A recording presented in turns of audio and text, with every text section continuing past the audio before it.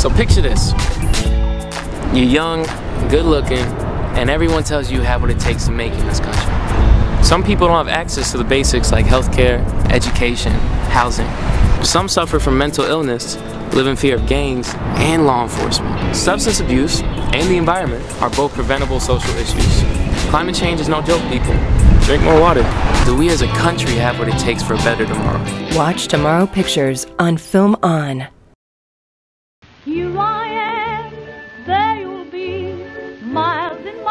This is Tomorrow. Pictures I TV. Um, so, if you do not know, I am Casey Sullivan, owner of Curating Confidence, and we do a monthly conversation and Q and A here, uh, a collaboration with Zach Knight and uh, ATL Vet, or yes, ATL Vets for Advancing the Line. Um, helping veteran owned small businesses uh, as a small business owner, and just really trying to collaborate with the community, veteran or non veteran, bringing people together and sharing stories, sharing wisdom, sharing knowledge in lots of different fields. Uh, I own a uh, business called Curating Confidence. So, just as said, I focus on all things self confidence with a flair of fashion behind it. So, um, I just want to say thank you so much for being here. I don't know, I think this might be. Do we have any veterans in the room? Veterans, veterans? How about veteran supporters? Woo! Awesome. So, we really appreciate everybody that does their part in getting us these opportunities to do stuff like this. So, big shout out to Nate with Social Pro Video. He is the guy behind all the magic on camera and, of course, the sound. And then, of course, Kimber, our lovely lady that's serving us and keeping us happy. Make sure to take care of her, please. And thank you. Shout out to Six Bridges Brewery for allowing us to use this space to do this. We are very humbled by the generosity with everybody. Um, so, to get kick started, I have this fabulous guest. I caught off guard because he's adjusting his collar, so I'll give him a moment. Da, da, da, da. Don't pay attention. Go. Um, but I have this fabulous guest I'm going to introduce in a moment. But with my background in fashion, coming from the film industry, in fashion, doing costume, wardrobe design, and styling, personal styling, individual, all that, and his background also in film, we had a very quick and very unique connection. And when we get together, it becomes a little like, when are they going to stop talking? So I promise I kept notes for myself so I'd stay on track tonight, just for your sake. Um, but I, I wanted to have this conversation tonight because, as I mentioned, although I do fashion, I want everything in your life to build confidence for you and not to exclude that in fashion. Fashion is one of those things that often creates a vortex of dislike, of questioning yourself, of wondering if you are enough or if you're too much of something.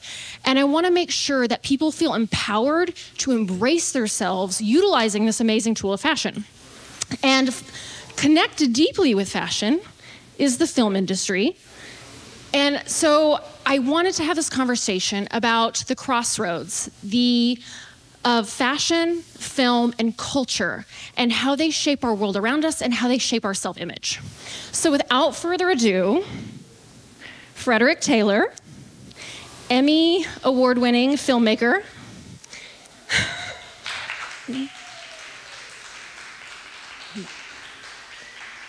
Um, I will let him give his own little introduction because I will never do it justice. But what I do want to say of that is when you think of somebody in film, you don't often think of somebody with heart and soul.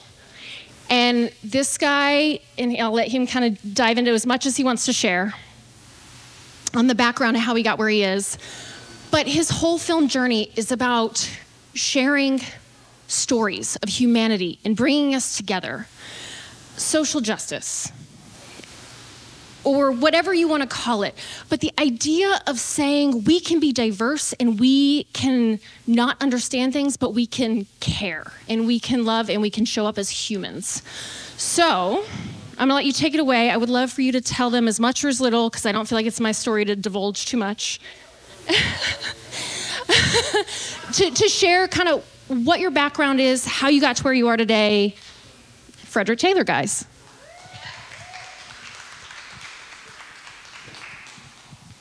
Well, this is great. Um, this is a lot of fun uh, as well. I'm happy to be here.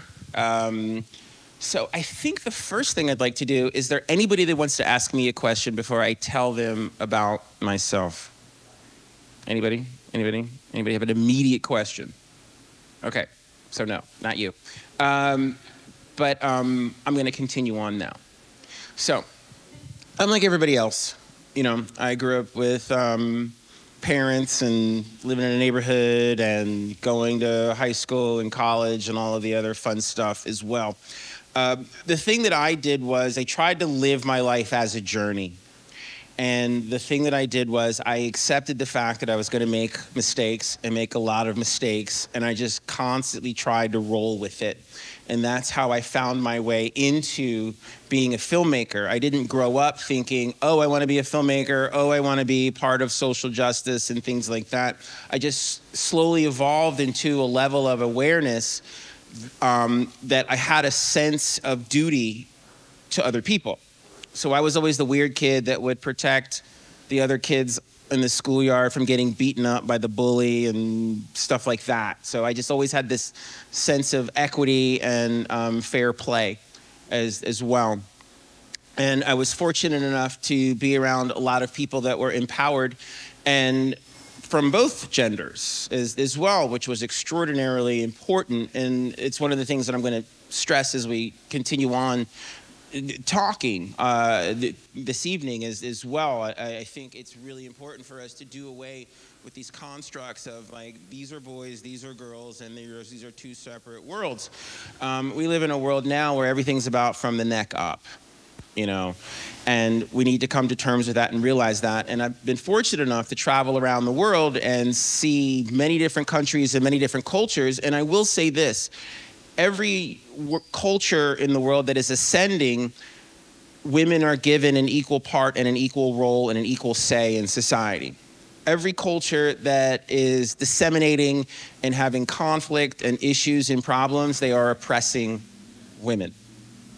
Um, that's a particular soapbox that I'm willing to get on, and I will fight you in the parking lot on uh, as, as, well because I think it's extraordinarily um, important so my background started in art, music, dance, um, painting, drawing, things like that. And then I went to college. I wanted to be a journalist, and then that turned into being a documentary filmmaker because I started to feel very strongly about a lot of issues involving people. And that momentum I took into graduate school and I realized very quickly in life that if I wanted to do what I wanted to do, I was going to have to work for myself and I was going to have to figure this out. So that's the path that I went down. And I started as a company. It started in my dorm room, then it moved over into my apartment, and then it moved over into a one room office, and then it turned into a two room office, and then a three room office. And now I have a big office, and it's in Buckhead and I sit on the board of governors at the Buckhead Club, and even that was an accident. You know, I stumbled into that. Somebody thought it'd be a good idea if I go hang out at the Buckhead Club, and then I'm hanging out at the Buckhead Club, and then someone thought it'd be a good idea that I sit on the board of governors um, is, as well. And the best part about it is I get to be my authentic self. And I can't stress that enough. And then when you're your, your, authentic self, when you have problems, you have issues, that you, you fall down, you fall on your face, you make mistakes or whatever, you have your scrapes, that's okay. You're not in this game to try to be perfect. You're in this game to try to be you. And that's probably the biggest thing that I want to be able to talk about and stress in, in within the construct of, you know, curating confidence and things like that. I think sometimes we we mistake that for being that I've got to be perfect you know, I want to be like those great self help gurus that are out there and they look perfect, everything's working out for them. I want to be like that. No, that's not real. What's real is the life that you're living, and it's your ability to react to issues and react to conflict and to react to these trials and tribulations that we all have. And we all make mistakes. But we have the ability to always, at any particular time, pick ourselves up, dust ourselves off, and continue on with our journey. as well. So, was that good? Should I stop talking now? I'm gonna give you the microphone back. I might take it otherwise. No, I have plenty of questions. I promise. So, coming from that, and I, I lied. I'm gonna divulge a little bit that he didn't divulge there, and hope he doesn't kill me later. No. So, coming from the south side of Chicago, and and and and working in Hollywood, and now owning your own film company, Tomorrow Pictures. By the way, guys, I forgot to announce that earlier. Um, here in Atlanta, and and having the success that you've seen in the film world and in other areas of life. As a person, as a filmmaker, sharing real stories of real people, coming from the background that you've had, and, and even from like Hollywood and the music background and that industry being a very different world, how did that shape your self image and keep you grounded into what you're doing now? Well, initially it crippled it because I grew up in the hip hop era and you saw people that were extraordinarily successful. Um, for those of you that remember the 90s, okay. So one of the things you remember about the, the, the 1990s was that a lot of people made a lot of money and they did a lot of stuff. And there were a lot of super, super, super, super famous people. And I think you could say late 80s, 90s, early 2000s, where it was just sort of ridiculous. And that was the standard. You had to be uber important, uber rich, uber powerful, uber pretty, and uber everything. And if you fell short of that, you were nobody. And that was one of the things that I had to really work out for myself. I remember I was doing a uh, video for Russell Simmons. He had a TV show called One World Music Beat, and I was his cameraman for the Southeast. And um, his host was his ex-wife, the tall one, was really attractive. I can't remember her name anymore. Um, anyway, so uh, Kimora, yes, Kimora Lee Simmons, yes. Um, wow, that's a there you go. Okay. So, but one of the things that um, you know I discovered about being in that particular world, where you know I would be doing things like I'd interview, you know, she would be interviewing, I'd be shooting, and it would be Elton John or these other famous people and things like that where I had to come to terms with where I was in my life and what I was doing, and that that still had value. And then I can't spend a lot of time chasing that. So we did this interview with Chris Tucker once. I mean, we, we, shot Puff Daddy, we did it all. And so there was this one interview with Chris Tucker, and Chris Tucker just became fixated with me because he noticed that I was doing everything, but I wasn't saying too much. I was, I was actually doing my job which, if anyone has ever worked in the hip hop industry, is weird. No one does their job. Everyone is posing, and everyone is just like, you know, flossing, I think is the term that they use. Stunting. Exact. Exactly. And so I was actually working, and he thought that was the weirdest thing in the world. He was just like, oh my God, you know, what's wrong with you, man? Like, you know, it was like really weird. and, um, he came over to me and he of course he yelled it because he yells everything he never speaks quietly it's really awkward um, and he says fred why are you on the low low all the time? You're always on the low low. I don't understand. And i had this moment where i was like oh my god he's so right. I'm on the low. I'm like sort of operating below the frequency of what everybody else is doing. You know, how am I going to make it in this business if I am not flossing and, and stunting? And how do you do that? I have no idea. I just know how to work hard and do the best job I possibly can. And that's when I realized that, you know, the industry that I was in at that particular time, doing the best job that you possibly can doesn't mean anything to anybody. So I was in the wrong industry.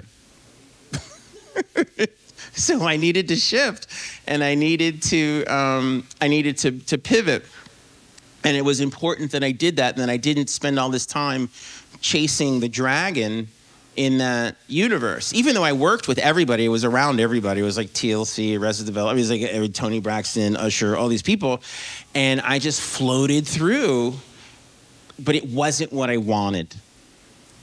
and I had to come to terms with who I was versus what was going on around me.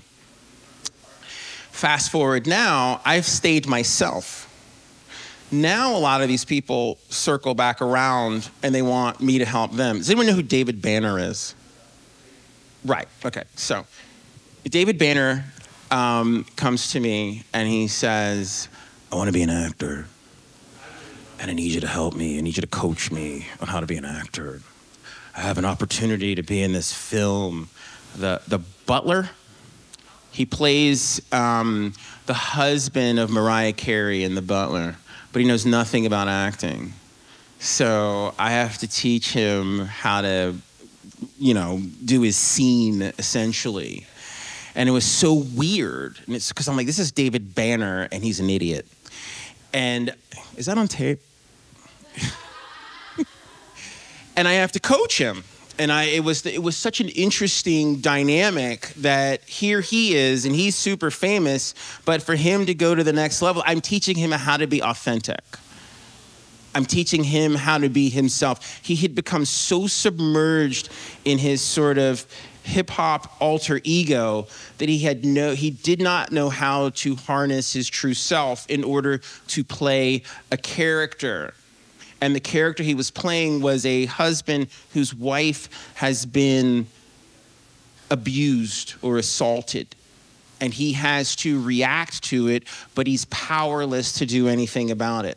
This was a, a, a, level of emotion and feelings that he's never explored or thought about in his entire life, let alone read about or anything.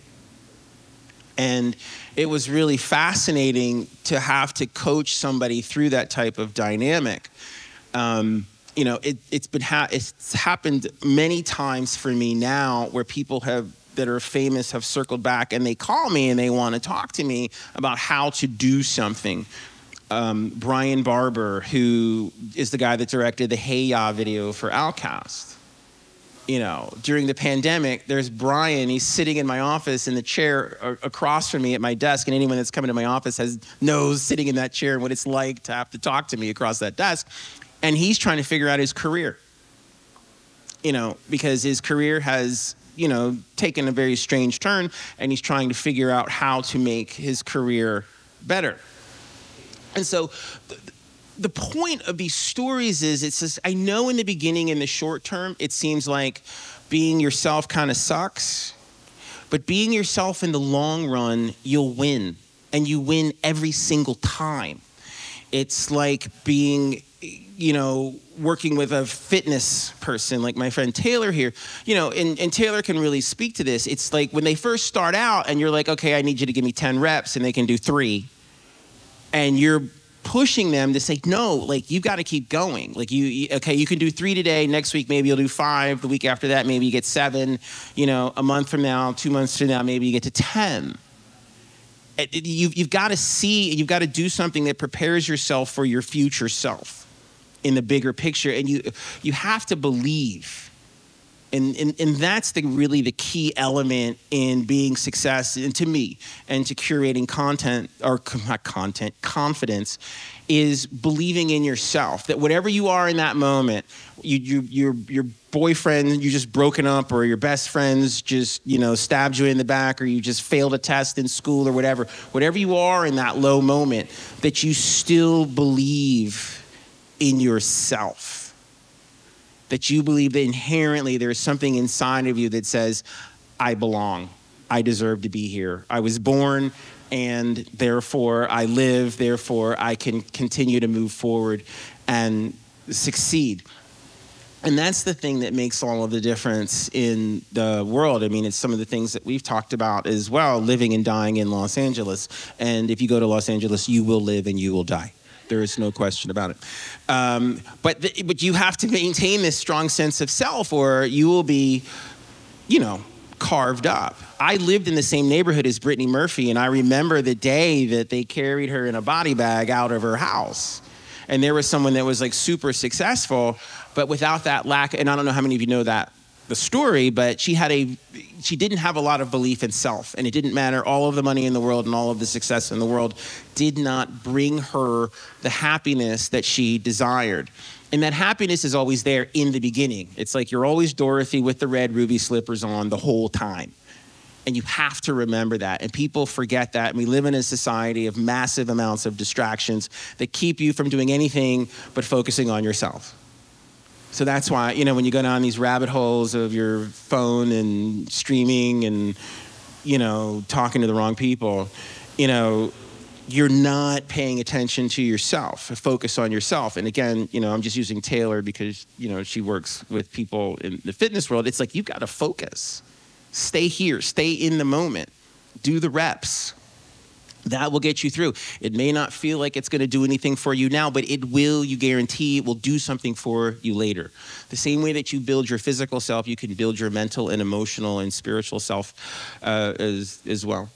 That's my long answer. I'll make. So, as you can see, he is a wealth of information, and he just answered like nine of my questions in one. So, you're a rock star.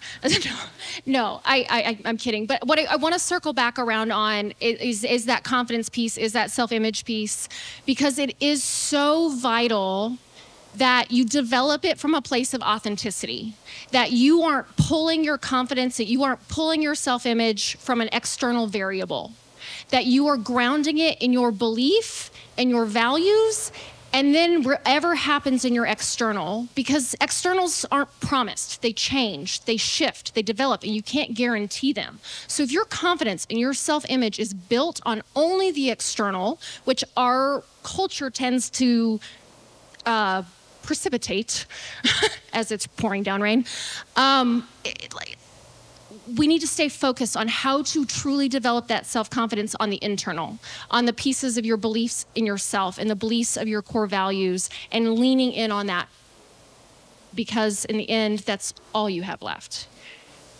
Um, so, taking it back to cultural influence in film and fashion, I kind of want to talk about this is this is our realm, me fashion, him film, and kind of the blur of the lines, right? But understanding that in film and in fashion, there's a lot of pull and there's a lot of inspiration from outside culture. And there's a lot of influence within those crafts, within the art from outside culture. And yet, it is also film, fashion are highly impactful in how our culture views itself and how we view ourselves. So I would love to hear kind of your impression on how you can take something like fashion and film and develop self image and how you can navigate that in a more positive way versus going down what we just talked about, losing yourself in the moment. Thank you, Eminem, for that. Just wanted to sneak in the Eminem reference in this. Fashion is everything. Fashion is where it starts. Fashion is the, one of the first things that you interact with that you say, oh my God, there's a bigger, larger world out there because there you are, you're a little kid and you're going through a magazine. That might be your mom's magazine. I remember I used to plow through my mom and my grandmom's magazines all the time because they had a lot of like um, women's magazines and stuff like that. And um, like uh, social magazines, you know, what was going on in society. My, my grandmother was really into Hollywood stuff, and my mother was really into uh, women and people that were on the move and moving forward. And it was all the clothes and that was one of the first things that I really started to notice. And then once you start to notice the clothes, you start to notice the colors, you start to notice the context, then you start to notice how people are wearing their hair and what they're looking like. And this kind of determines and starts to set your sort of normative standard for this is what I want to be like. And then it starts when you go to school and you might not like what you're wearing, but then you'll see somebody else at school that's wearing something that you really like, and then you're like, oh, I want that and then you go to the mall and you buy it. Or you see something in a music video, for those of you that remember music videos. That was another standard where you would see things that you would want. You know, I actually, and I'm embarrassed, I bought a thriller jacket. I still have it somewhere. It's hanging in a closet.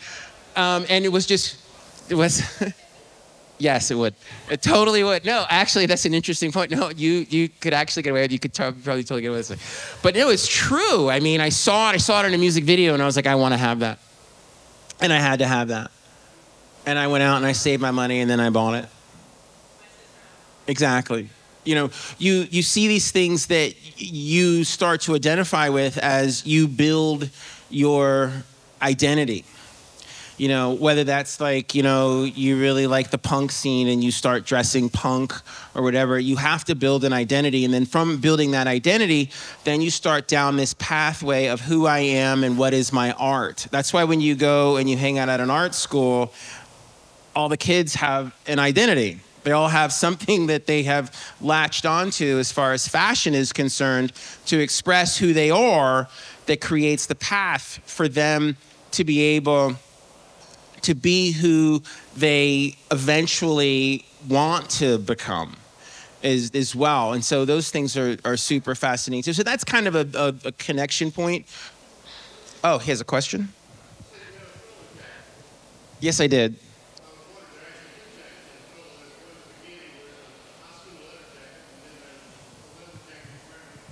How old are you? Oh my God. There was. There was two. Ooh, wait. Okay, you mean in Thriller? I thought he wore the same jacket all the way through. Are you thinking? Are you merging two videos? He's in a Thriller jacket.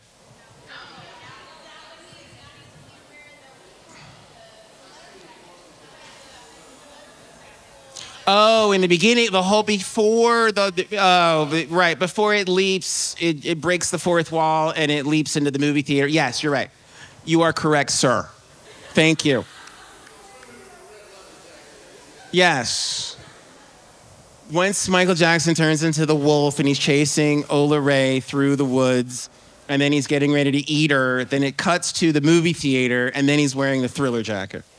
Yes, and then he has to walk her home and then he turns into the thriller and he does the, the dance that's still really good. That's terrifying, by the way. That is amazing. I wanted you to tell me that you were like a, a background actor or something like that. I, I, that you were a background actor, that you were actually in it. No. Of course. Thank you all. Thank you. Um, so, fashion and identity. Fashion has transformed over the millennia. You think about big eras, the flappers. We talked about this kind of a little bit yesterday, and I think it's a great conversation. The flappers, the poodle skirts, the um, hippie era, like the, all these things there is so much influence of fashion in our culture, in our lives. How do you feel like fashion kind of shapes our identities about our image, about our bodies, about the world around us? And how can you kind of control some of that? Maybe? I think Kanye controls it too much, obviously. That's a good example of it going over the top but yeah, it's the, I mean, you, you can't move forward without some sort of identity about what you look like. And even if you are famous now, people write about you and they say they saw you on a runway or a carpet or whatever, and you didn't look good. People are going to say something, and of course, famous people, when they're standing there, they say, "What are you wearing this evening?" And it's like, "Well, this is Oscar de la Renta." Like that's the world we live in. That that is how our identities are are built. That is locked into our culture, and there's nothing we can do about it. And if you have to go to any particular important event, you better look good because you're not going to get away with looking busted, as the kids like to say. It's not going to work. Maybe. That's not aging well on him. And I think that uh, Selena Gomez is now beginning to outdistance him, and it looks like he made a mistake in his life. Okay, so. That's true. So Justin's going to come after me. Justin, David Banner. Who else did I trash? I trashed somebody else too, I think. Um, Yo, man, I don't appreciate you like saying that stuff on that video. I saw that on YouTube. Fashion is important and it's from decade to decade to decade and it does create a certain um, identity and what it, it, it puts you in a position to feel empowered in order for you to move on and become your best self as, as, as well and like, what do you do with that identity that you create from the way that you present and that's the key ingredient here present. We all get up every day, we look in the mirror, and we decide, this is how I want to present. And presentation can become politicized as well. If you don't present in the way that society has developed these normative, so called normative standards for how you to present, do you have the courage to continue to push through that? as well. And certain people do. RuPaul is a really good example of that as, as well. And that's to be admired. He gets up every day and he decides for himself, this is how I want to present. And he does it. And he builds the attitude behind it. That's where the, the fierceness comes from, or the undeniability. Who no one's gonna tell me no. And I think that that's extraordinarily important as, as well. And at times, that's something that's missing from a lot of people. They crumble, you know? They don't know how to necessarily stand up for themselves. And it starts with your fashion and how you want to um, present. You know, Billie Eilish is another really good example of that too. Um, Elliot Page, is a tremendous example of that. You know, um, Elliot made a huge decision in his life to present differently and to move and change altogether. And Elliot is much happier versus being the person that everybody else wanted Elliot to be as well. And so these sort of normative standards are something that come into your choices with, with fashion and self confidence too. Did that help? Okay, good. Because fashion is my space, you know, I'm adding something.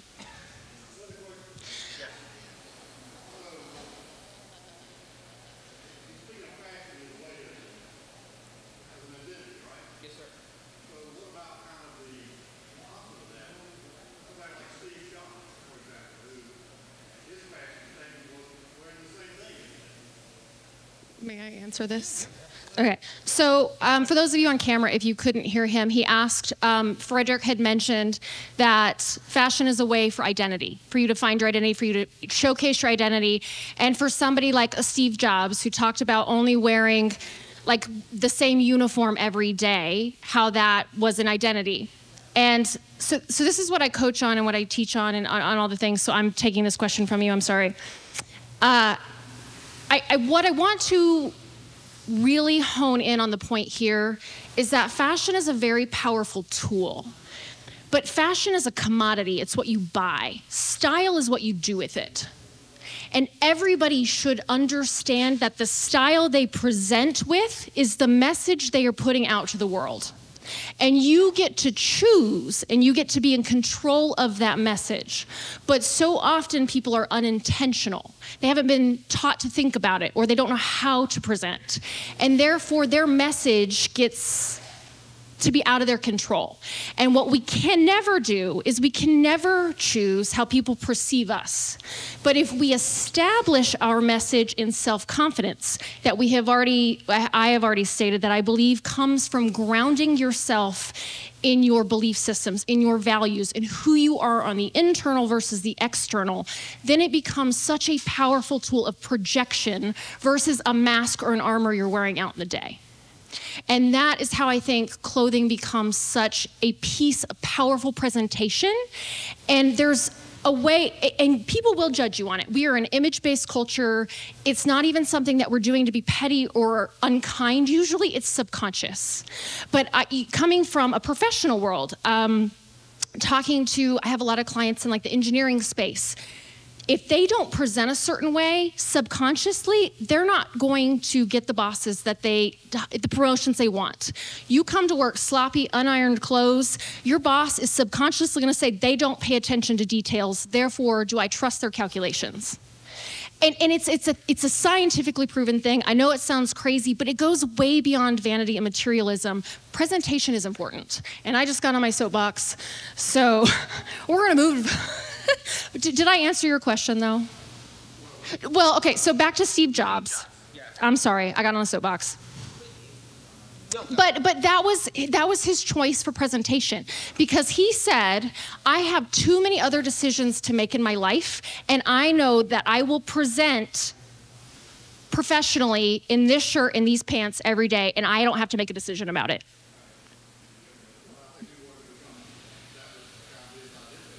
Yes it did. It definitely became his identity. You got known for that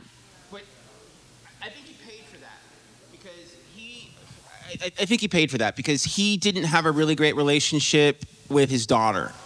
And he also didn't really have a great relationship with his illness as, as well. There were things that he could have done to um, prolong his life or, or circumvent his demise as, as, well.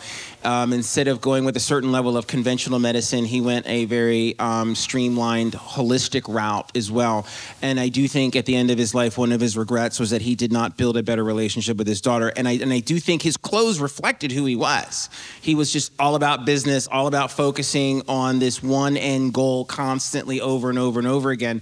And it's going to be interesting to see how history looks at him moving forward that, that that is going to be the only image of him is him in that black turtleneck for all eternity you know and so that's going to be an interesting play moving forward in how people perceive him as this sort of um, singular bandwidth guy you know that people don't, it's like Napoleon with the hat or him with his hand in his vest or something like that. You're just sort of burned into the minds of people for all eternity that way, too. Because Steve Jobs is someone that is going to affect humanity for hundreds of years to come, long after he's gone as well. And it's going to be his black turtleneck is his logo, essentially um, as, as well. So a sort of eclectic or a sort of um, varied sense of style too, where you have different looks, that does help your your your sort of um, portfolio as how people perceive you as, as as well. Like think about Madonna.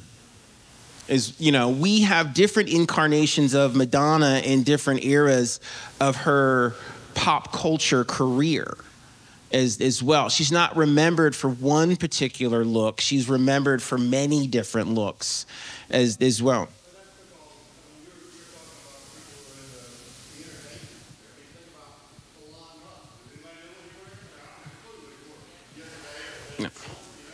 but people will care it will it will it, Mm, let Elon wear the wrong thing. If Elon, if he wears the wrong thing, it may come back to haunt him. I think ultimately he can be. I, I, think that that is very plausible, depending on which direction that his company goes or the vision of what he's trying to do. You know, I, I, I do think that that is a part of how people perceive people. People perceive John F. Kennedy as a very well dressed man as well. People have given, you know, a lot of attention to certain presidents based on the length of their tie too, where people start to focus on these things, you know, right or wrong, fair or not. And, you know, fashion lives in its own universe as, as well. You know, so for the time being, maybe people don't really pay that much attention to Elon Musk, but I would like to challenge that by Googling it. If you Google Elon Musk and fashion, be interesting to see what you come up with, and has there any, been any real uh, critique of uh, how he presents? Because he is a, a, a very um, unusual fellow as, as far as how he makes decisions in his life, and certainly what he names his children. And to your point, like there's always going to be two camps to everything or multiple camps. Um, the goal is to open the idea of how you can utilize things in your everyday life in a different manner and how, you know, take what serves you, leave what doesn't. Um, talking back on film, film, because this is your space, I would love for you to share examples of characters that have had a significant impact in our society and our culture and how it has shaped how we feel about either society as a whole or your self image, things positive, negative, just kind of how film has impacted the way we see ourselves in culture. I think there's a dividing line. I, I, I think it comes down to one film in the, the, the era that we live in versus all things before, and that's the movie Clueless. Clueless is it's literally the beginning of this whole other universe of youth culture, fashion, sense of self, female empowerment, technology, where those characters in that film, you cared what they were wearing. And those characters in that film, as those characters, cared what they were wearing. And that was something that became extraordinarily significant with people and very identifiable.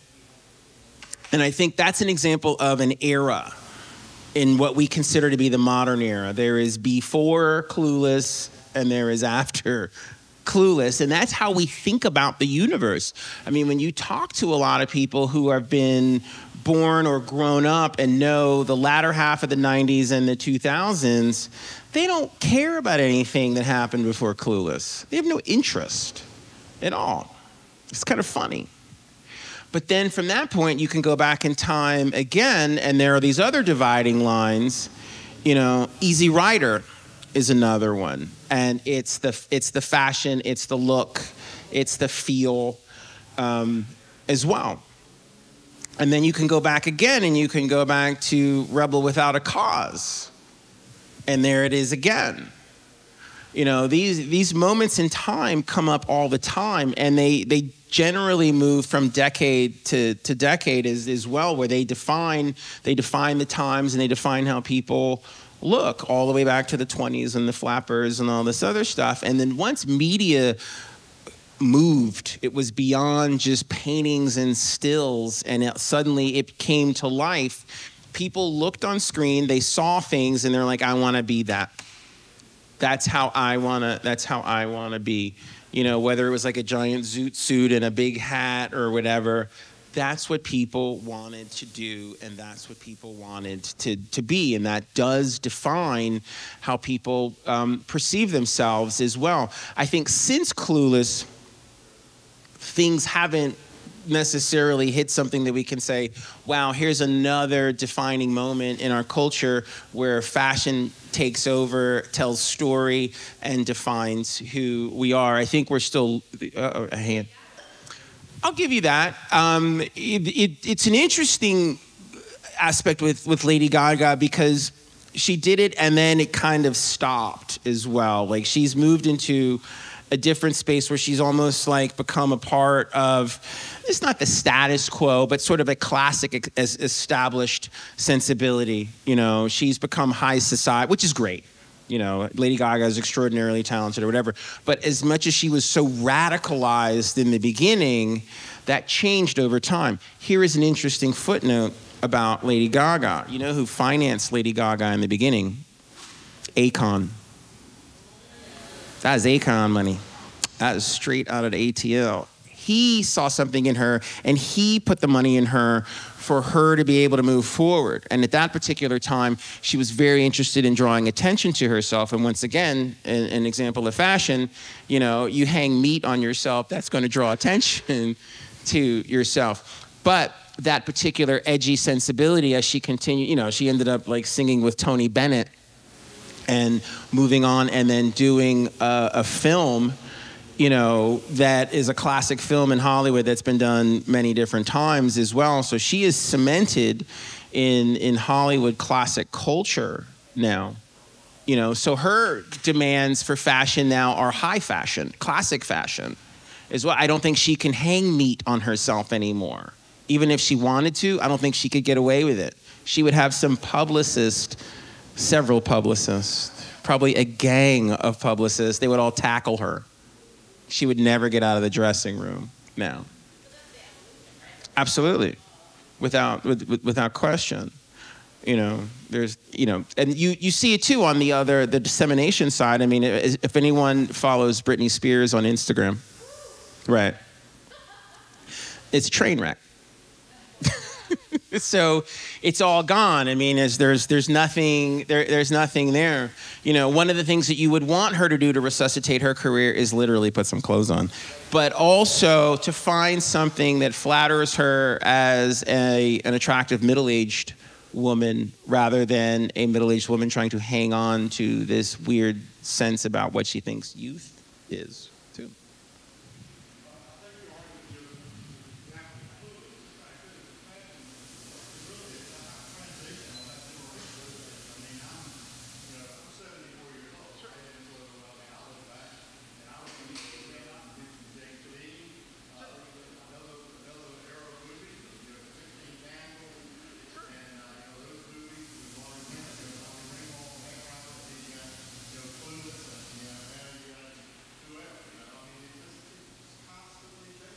Yeah.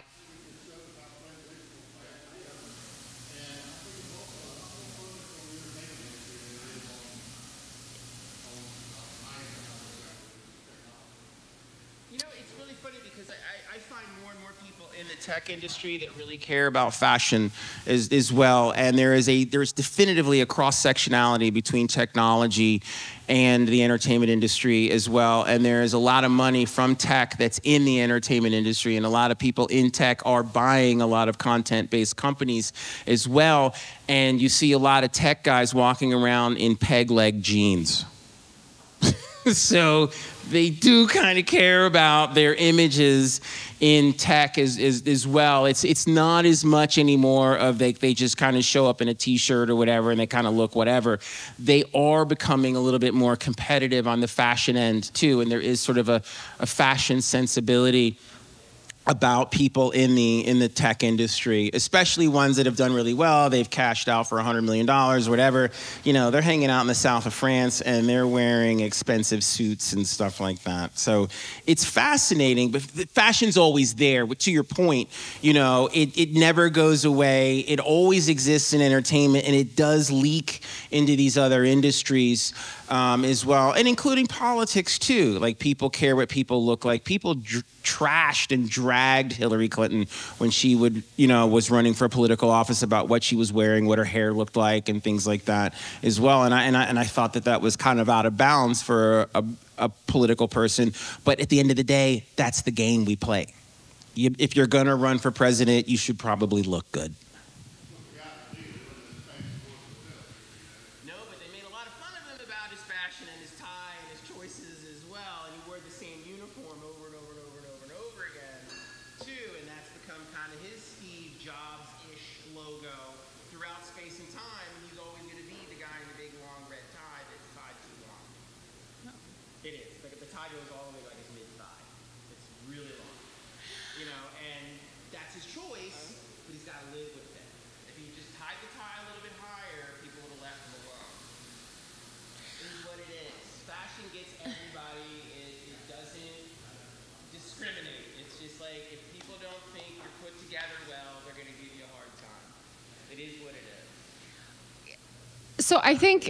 Think the the interesting thing in this conversation is you can clearly see the intersectionality of these things and how they influence each other.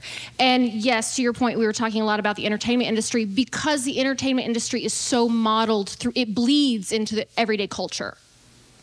And so a lot of things that are going on in like our children's lives are coming from these industries and they're molding from that.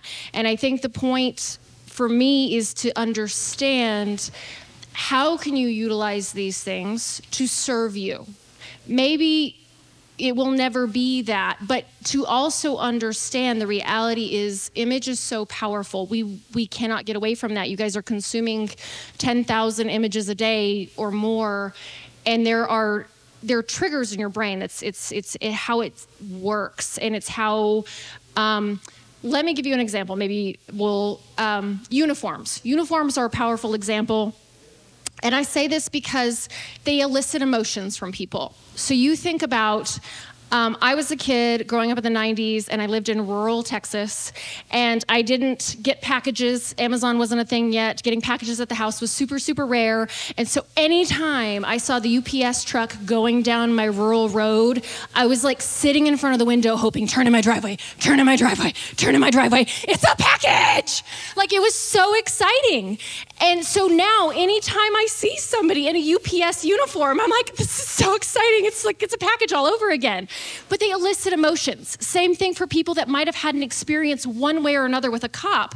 They're going to have an emotion that is elicited from that person in that uniform. So, what my point is if you are not wearing a uniform, you're still eliciting emotions from people, and are you in control of it? Um, so, yes, same thing. It is. But do you know how that translates later in life? My clients, they don't know how to find themselves. They don't know how to translate that into their their new careers outside of that space. And I end up having to coach a lot of people about the fear of standing out the fear of owning their authenticity, the fear of owning their skill because they're so in, like subconsciously ingrained and taught how to blend in. And there's I'm not saying that's necessarily wrong in in schools, but it does have everything has a cause and effect. And so there is one thing that happens and there's another thing that happens and you have to be aware of those cause and effects. And and that to me is the point of understanding like for me how powerful fashion can be and and the entertainment industry because it bleeds into our society. It what reaches everybody regardless of who you are. And it shapes how we think, feel about ourselves and our culture. So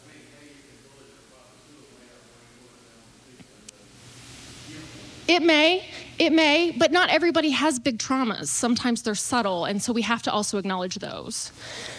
Um, so I just want to, we are at time. I love this engaging conversation. I'm going to have you, I um, am going to ask you for one quick success story success. in film that you feel created a positive, helped you with positive image.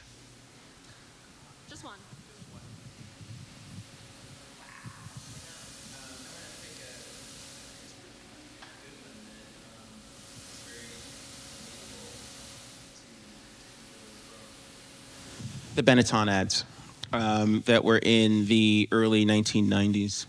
Um, yeah, exactly.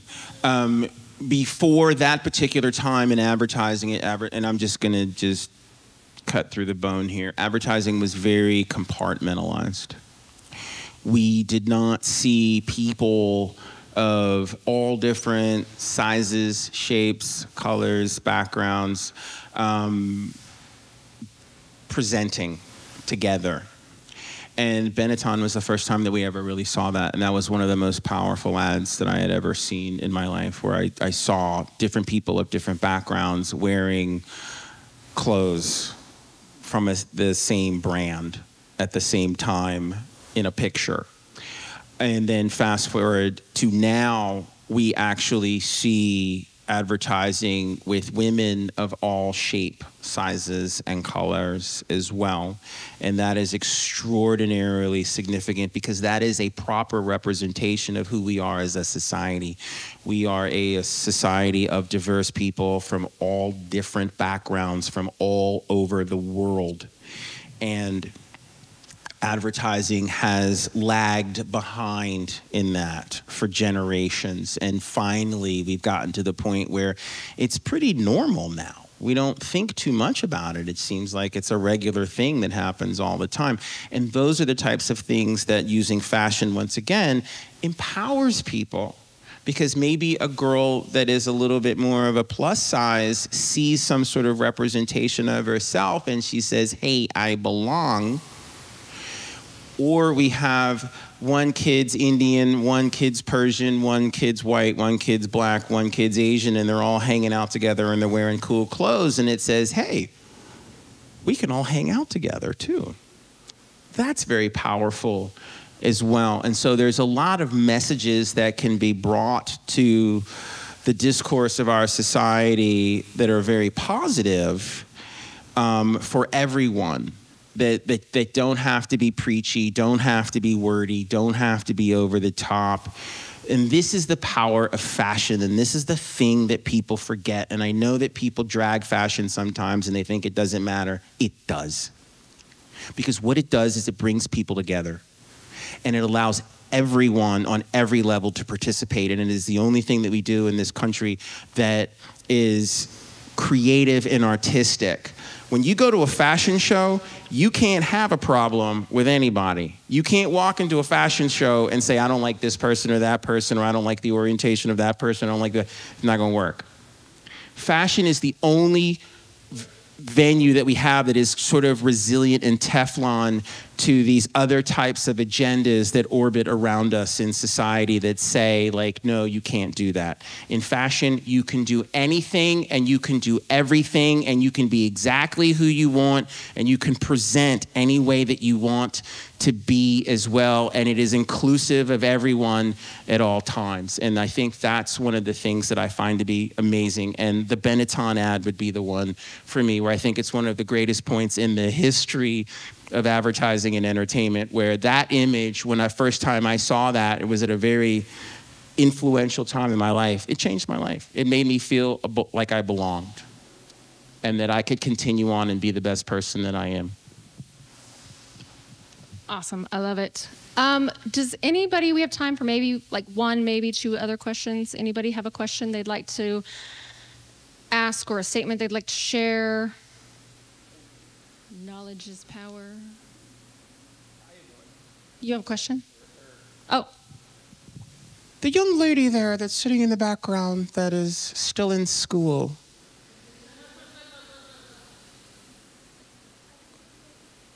Do, do you have any question at all being in this room full of adults? I know it's terrible. I get it. It's not. It's okay. You're good. Wow, that's impressive. That it that that, that you are truly a mature person. And in ten years, can I have a job? Okay, good. Thank you. I will come work for you. Um, do you have any questions about this? Is there anything that you think about this? You go to school, you are around other kids, you guys judge each other for everything what you look like and what you're wearing and the walk and the talk and who's cool and who's ugly and all of this other stuff. And you have to get up every day and decide what you're going to wear in order to get through your day and to keep people from bothering you so you can just get through your day because you live in the hell of school and you can't see the, the light at the end of the tunnel that someday you're going to graduate and you're going to go to college and you're going to go out into the real world which is like 20 minutes away, but it doesn't seem like it. And then you have a whole nother life of like 80 years after that. How do you handle all of that?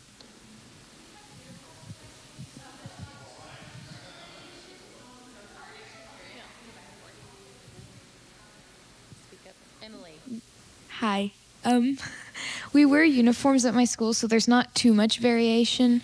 But um, with different events, people will generally wear a similar type of thing, but with maybe colors no one has done before.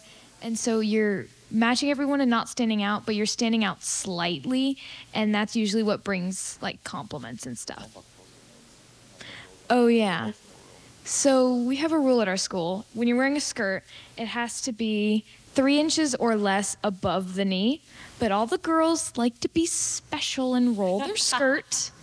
Um, so I'm one of the kids who don't roll their skirt. And so it does bring me attention. It does bring me attention, but people have gotten to know that as one of my identities, I'm just the kid who wears a long skirt. And people have come to accept that. So, yeah.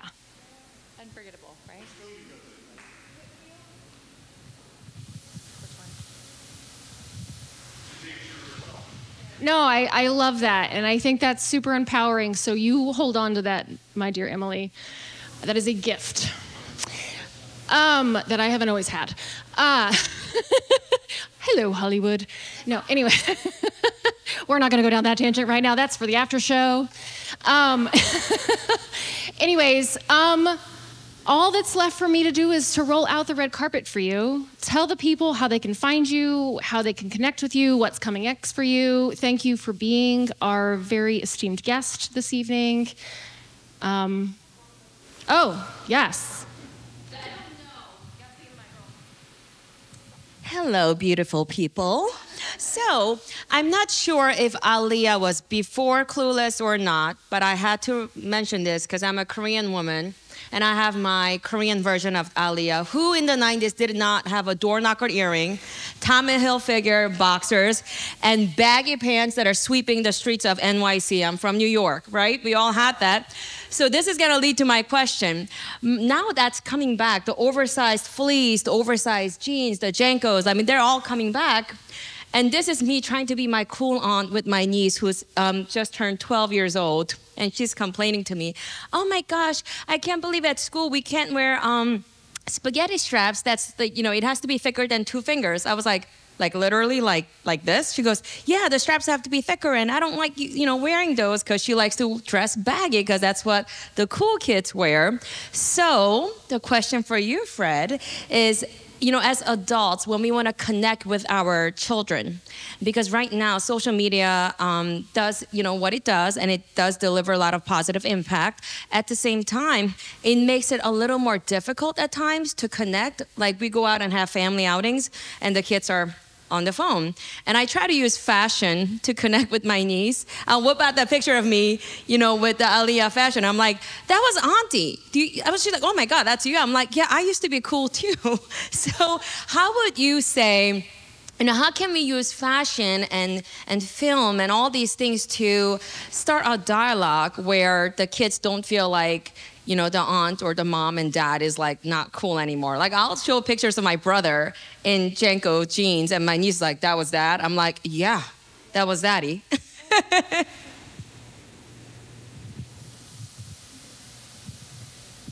That's a really interesting question. Um, I, I think a lot of it has to do with the evolution of fashion. It's your level of fashion knowledge. I mean, you want to be able to sit down with the um, kids in your life that you are influencing, that you are raising in the village that you live in, um, and show them that fashion's been a big deal for a hundred years. And that this is something that evolves and is an evolution, and they're, they're only a part of the evolutionary chain. As much as they think they are the bomb, that is temporary and it's it's a really good life learning lesson about everything in life. Everything in life is temporary. It, it is literally here today, gone tomorrow. They can't believe that what they're doing now will become old. You know, I once had parachute pants and could break dance, and I thought that that was the end of the world. Nothing else was going to happen. That was it. Thank you. Um, but that's not true. I mean, the world keeps moving forward. So it's a really great opportunity. And this is what I do because I have my little nieces and nephews and things like that too. And so I really try to focus into those spaces of this is really great now, but it's going to continue to move forward. Enjoy it as much as you can get as much as you can out of it. And for my friend here as well, enjoy your life, enjoy your youth, be proud of who you are, stand tall. Because these are some of the most important moments in your life that are going to formulate who you will become as an adult. Now, I told the story about that thriller jacket. I wore the crap out of that thriller jacket too. And I didn't care what anybody said. I was embarrassing my parents and everybody else, and I didn't care. I wore it everywhere I went. And you know what it did? It made me the person I am today, that I'm proud of who I am. And I think that's what's really important. And those are the things that you kind of emphasize with these kids. You kind of lean into it. That's what they want to do. But also with fashion, you have the discussion about here are the sort of parameters for different venues that you operate in, like at school or in other places. So if you're not allowed to wear the spaghetti strap, you can't wear the spaghetti strap here. And you have to understand that because there are many things that we cannot do in certain venues. Like if the speed limit's 65, go 65, you know? And so it's important to teach people parameters and limits as well. And with fashion, and especially with youth, it's a tremendous opportunity to do that as well. So I try to look at it as teaching moments. And I have, I mean, I have you know, nieces and stuff like that. And I mean, and they start looking like ladies by the time they're 13, and you're just like, oh my God. And like, you know, please, you know, and, and you, you have to coach them into a space for growth and to also protect themselves too. I mean, these things are very important and they're very complicated. So you just have to take time with them. You know, you kind of get out of your world and you get into their world. And I, and I think sometimes as adults, we become so consumed with ourselves that we forget about the other people around us that we need to take more time with. And many of us as adults always look back on our lives as kids and we're always thinking, I wish somebody had taken more time with me. I wish somebody had talked to me. So here's the opportunity for us to do that. And that's kind of how I look at it as well. But that's a terrific question too, and I, I commend you on that that you take an interest in in them, and that will mean something to them when they grow up and they'll come back to you as they're pushing your wheelchair around, and they'll say, you know, I really appreciated you saying something to to me you know, and those were some of the things that I related to the people that influenced me when I was growing up as a kid as well. And they and the ones that never told me to take off the thriller jacket. Like I've got aunties that are very old now and they laugh. They're just like, you just walked around with that thriller jacket on all the time. You just thought you was somebody, didn't you? And you know, and we wanted to say something, but we didn't because it just made you so happy. It made you happy and we don't have enough happiness in life in general anyway. So what little bit we can get, give it to them. Wear the thriller jacket. Yeah, no, I, I it is teaching moments. There's a. We're gonna find this. There will be a photo shoot later. No, no. Um, because I can and I have the mic. I, I real quick, there is a movie um, called Begin Again. Uh, it's Keira Knightley and Brandon Ruffalo, but there is a scene in there. It's a young teenage girl, and she is struggling to fit in at school, and she thinks that wearing a certain type of clothing is going to help her fit in. And there is a teaching moment where this mentor, she's not the mom, she's not technically an aunt, but she's kind of a mentor in the space, takes her shopping and shows how to utilize fashion to fit today's culture, but it doesn't have to be provocative to, to fit her age. And I think it, it, really does boil down to the teaching moments and how can you meet people where they're at, regardless of age. And and understanding that, you know, um, what you mentioned, like teaching moments of like, this is the appropriate time to wear this and this is not. It's something I call image IQ, which I'm gonna make the blanket statement that our culture really struggles with right now. But it's it's understanding that you can be authentic and show up as yourself. But there's a way to do that appropriately at work. There's a way to do that appropriate at school, in your off time, in brunch with your friends, or whatever the occasion might be.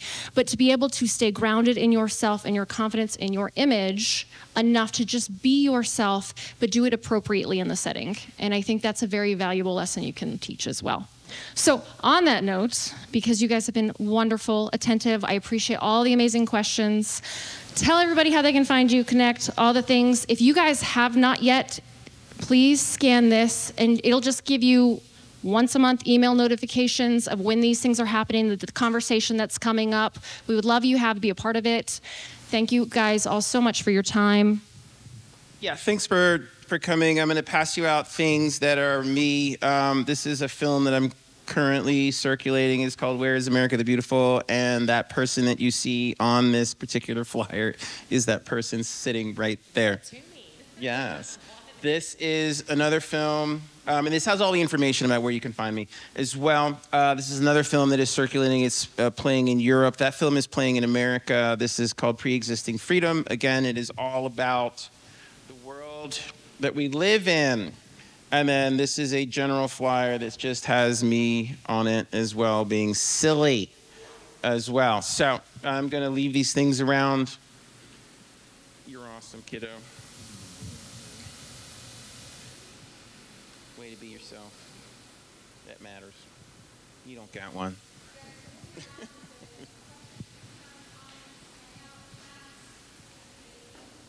you got it, brother.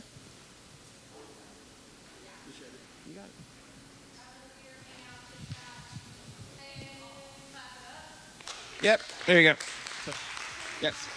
So, and everything is, um, it's Frederick. It's F R 3 D E R, the number one C K. That will get you everything. You Google that, you'll get everything that is me. I am the number one F R 3 D E R 1 C K on Google as well. Um, you can, yeah, you can, you can track me if you wish. So that sort of matrix-like code will get you everything about me as well. And I'm always open to answer questions about anything. Please ask. I think I'm hanging out for a little bit. Um, yeah, we're gonna eat food. I think, um, unless this place is closing. Is it closing? Uh, What nine? Okay, so we're gonna be open for a little bit. So please come up, ask me any questions that you like, and if you're ever in Atlanta or downtown, um, our company is at the corner of 25th and Peachtree. You're always welcome to come by and say hello uh, as as well. And um, can we have a hand for KC, please?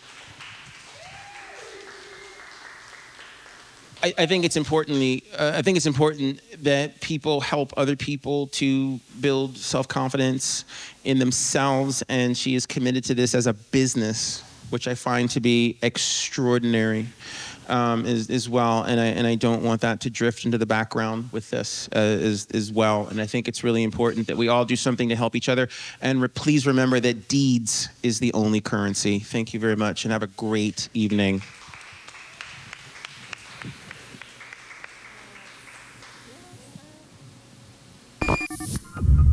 Don't change that station while we pause for a brief commercial break. Picture this. Picture that. Picture laughter. Picture travel. Picture magic. Picture dance. Picture family. Picture struggle. Picture bravery. Picture today. Picture tomorrow. Watch Tomorrow Pictures on FilmOn. roller skates at the bottom of the stairs, poorly insulated wires near the bathtub. Okay. Looks like a sound check's about to happen.